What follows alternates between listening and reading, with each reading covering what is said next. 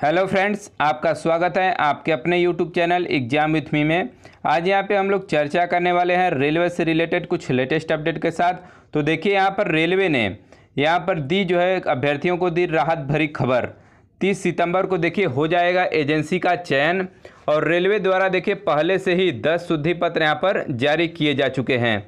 और देखिए आज यूपी पीसीएल से आने वाली है एक और बड़ी खबर।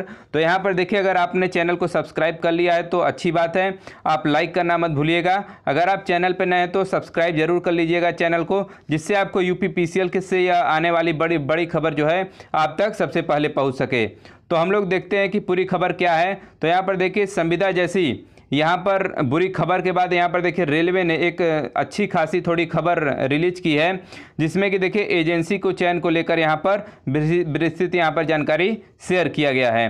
तो चलिए देखते हैं पूरी खबर क्या है।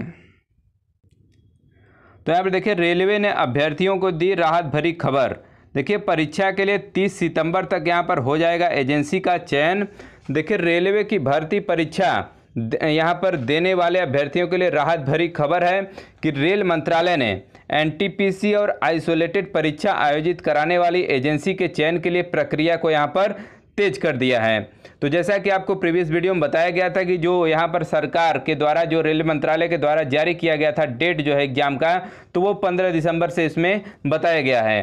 तो देखिए, रेल मंत्रालय की ओर से 14 सितंबर को रेलवे की I R I P S की वेबसाइट पर जारी किए गए शुद्धि पत्र में स्पष्ट कर दिया गया है कि परीक्षा एजेंसी नियुक्त करने की यहाँ पर प्रक्रिया जो है तीस सितंबर तक यहाँ पर पूरी कर ली जाएगी। यानी कि आपका यहाँ पर देखिए एग्ज़ाम बहुत ही जल्द से जल्द होने वाला है। यहाँ पर एजेंसी का चयन होने के बाद जो है आपके एग्ज़ाम सेंटर की यहाँ पर जो उनकी प्रोसेस प्रक्रिया चलेगी, वो चलने वाली है। वो अपना जो कंपनी लेगा टेंडर वो अपने हिसाब से उसको देखेगा। तो देखिए, इसके बाद जो पात्र पाई गई परीक्षा एजेंसी को यहाँ पर नियुक्ति पत्र जारी कर दिया जाएगा।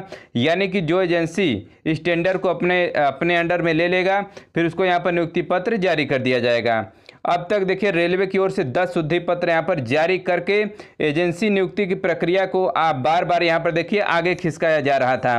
यहाँ पर देखिए, रेलवे के द्वारा दस शुद्धि पत्र जारी किए गए थे और जो एजेंसी की चयन की प्रक्रिया थी, इसको यहाँ पर बार बार जो है आगे एक्सटेंड किया जा रहा था। तो देखिए, इस बार, परंतु इस बार यहाँ पर अंतिम तिथि जारी कर दी गई है। ऐसे में परीक्षाओं का काउंटडाउन देखिए, अब शुरू हो चुका है। यानी कि जो भी परीक्षार्थी यहाँ पर देखिए, रेलवे एनटीपीसी से रिलेटेड कैंडिडेट्स हैं, जो इनकी तैयारी में लगे हुए हैं, वो अपनी तैयारी को और अब ज़ोर शोर से यहाँ पर चालू कर दें, जिससे कि यहाँ पर देखिए, जल्द से जल्द यहाँ पर देखिए, एग्ज़ाम होने की संभावना व्यक्त की जा रही है। देखिए, रेल मंत्रालय 15 दिसंबर से परीक्षाएँ आयोजित कराने की घोषणा यहाँ पर देखिए, पूर्व में ही कर चुका है, जैसा कि आपको प्रीवियस वीडियो में बताया जा चुका है। परंतु देखिए, अब तक तय नहीं है कि पहले एनटीपीसी अथवा आइसोलेटेड कैटेगरी में से कौन सा परीक्षा यहाँ पर पहले आयोजित की जाएगी?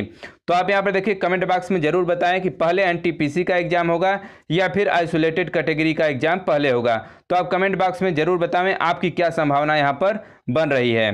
फ़िलहाल देखिए, रेलवे की ओर से परीक्षा कार्यक्रम भी घोषित नहीं किया गया है। माना जा रहा है यहाँ पर, देखिए, जो कि एजेंसी फाइनल होने के बाद परीक्षा की तिथि यहाँ पर घोषित कर दी जाएगी।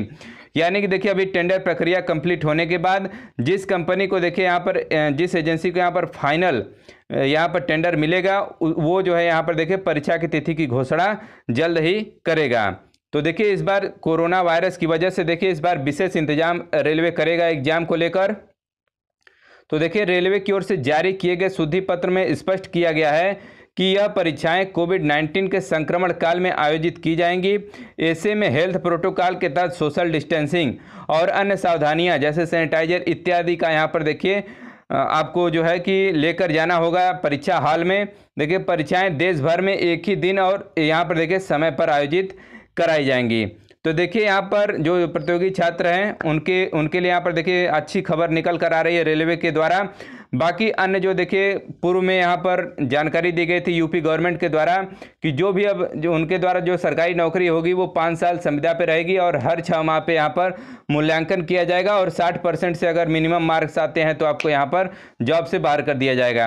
तो उनकी ऐसी अभी योजना बन रही है, अभी कैबिनेट से पास नहीं हुआ है तो आप चिंतित ना हो, ऐसा होने नहीं दिया जाएगा। और यहाँ पर देखिए, आप चैनल पर अगर नए हैं तो चैनल को ज़रूर सब्सक्राइब कर लीजिएगा।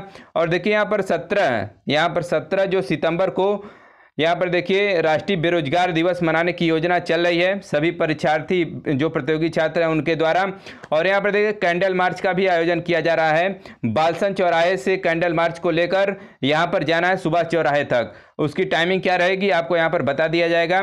आप सभी को यहाँ पर देखिए, अभियंता दिवस की हार्दिक शुभकामनाएँ।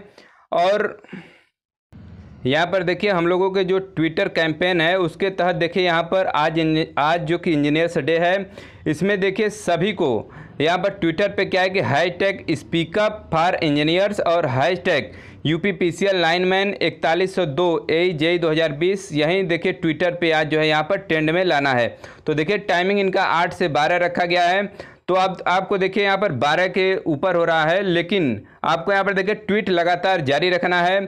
सौ सौ ट्वीट, कम से कम एक कैंडिडेट्स को यहाँ पर सौ सौ ट्वीट जो है करना है और अधिक से अधिक इस वीडियो को आप शेयर करिए, जिससे कि सभी जो भी कैंडिडेट्स हैं, जो भी प्रतियोगी छात्र हैं, इससे जुड़ सकें और यहाँ पर अधिक से अधिक ट्विटर का जो ये मसला है, इसको आगे बढ़ा सकें। और यहाँ पर जो सत्रह तारीख को हम लोगों की जो योजना है, सत्रह सितंबर को राष्ट्रीय बेरोजगार दिवस मनाने की, उसमें जो है इसमें वो सहयोग कर सकें। तो फ्रेंड्स, ऐसे ही लेटेस्ट अपडेट पाने के लिए जुड़े रहिएगा हमारे चैनल के साथ। लाइक करिए, शेयर करिए, सब्सक्राइब करिए। Thanks for watching this video.